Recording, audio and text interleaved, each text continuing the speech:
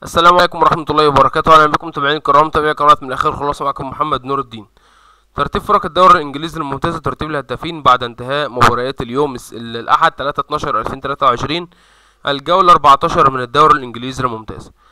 متابعين الكرام قبل ما أبدأ أرجو من حضراتكم الدعاء لإخواننا المسلمين في فلسطين.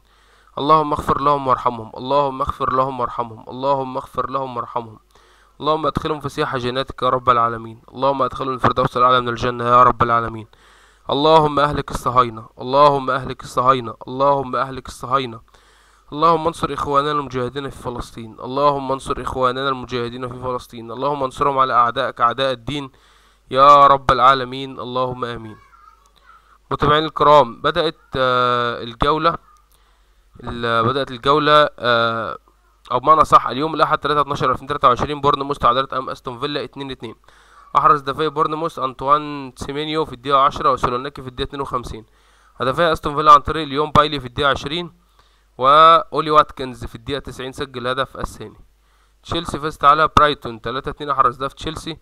إنزو فرنانديز في الدقيقة 17 ليفي كولويل في الدقيقة 21 وإنزو فرنانديز في الدقيقة 65 هدفي برايتون عن طريق فاكوندو بونانونتي في الدقيقة 43 وجواو بيدرو في الدقيقة 92 ليفربول فازت على فولهام 4 3 يعني ليه كده ليفربول؟ يعني كنت كسبت سهل عادي.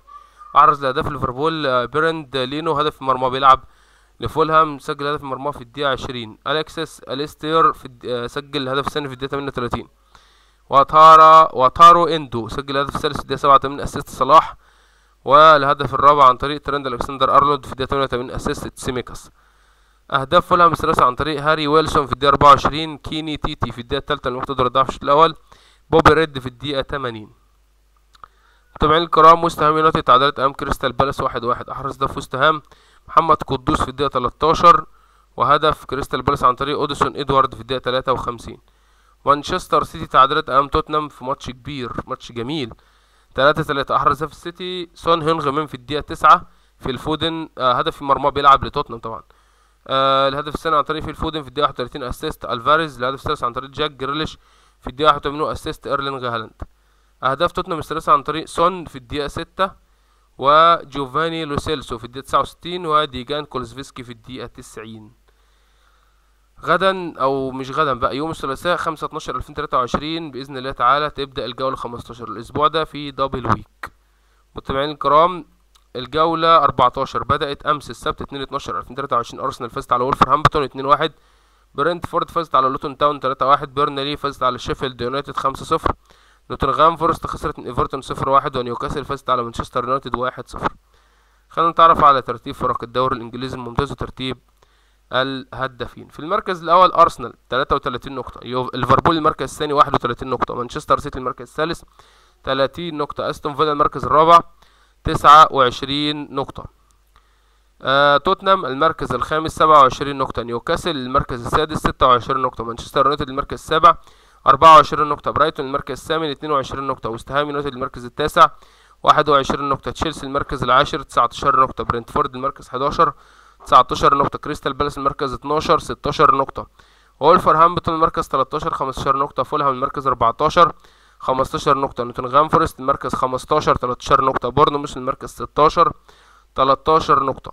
لوتون تاون المركز 17 9 نقاط. إيفرتون المركز 18 7 نقاط. بيرنلي المركز 19 7 نقاط.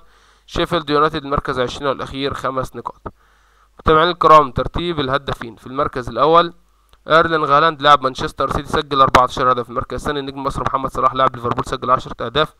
والمركز الثالث سون هيونغ مين لاعب توتنهام سجل 9 أهداف. والمركز الرابع جارد بوين لاعب وست هام يونايتد سجل 8 أهداف. واولي واتكنز لاعب أستون فيلا. المركز الخامس ألكسندر إيزاك لاعب نيوكاسل سجل 7 أهداف.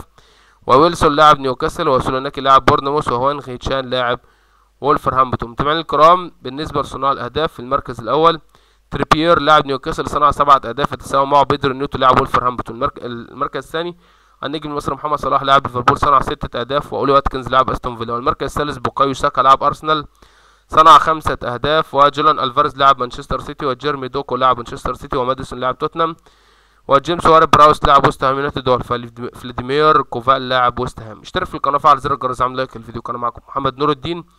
نراكم في فيديو آخر بإذن الله تعالى والسلام عليكم ورحمة الله وبركاته.